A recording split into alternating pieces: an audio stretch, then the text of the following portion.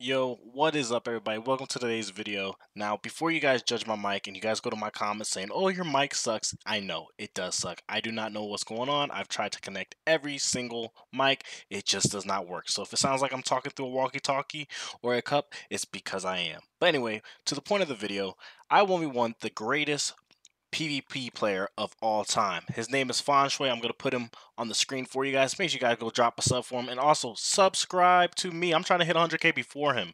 But nah, for real though, this was probably one of the most intense 1v1s that I ever had on GTA Online. So I hopefully you guys you guys enjoy this video. It is pretty of a long video and I understand a lot of you guys don't want to sit here forever and watch kills go back and forth, but I suggest you guys do because man, I will tell you this guy was giving me the work.